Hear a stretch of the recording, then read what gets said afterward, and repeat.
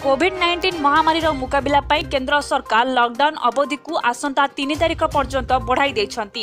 ଏହି ସମୟରେ ଅଦାଲତ କାର୍ଯ୍ୟ ମଧ୍ୟ ବାଧାପ୍ରାପ୍ତ ହୋଇଛି।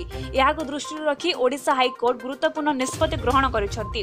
ଜରୁରୀ ଅପରାଧିକ ବିଷୟ ଯଥା ରିମାଣ୍ଡ ହାଜର ଏବଂ ଜାମିନ ପ୍ରଦାନ ଆଦି ପାଇଁ ସୋମବାରଠାରୁ ଏକ ଘଣ୍ଟା ଲାଗି ତଳକୋର୍ଟ ଏବଂ ସେମାନଙ୍କ କାର୍ଯ୍ୟାଳୟ ଖୋଲାଯିବ।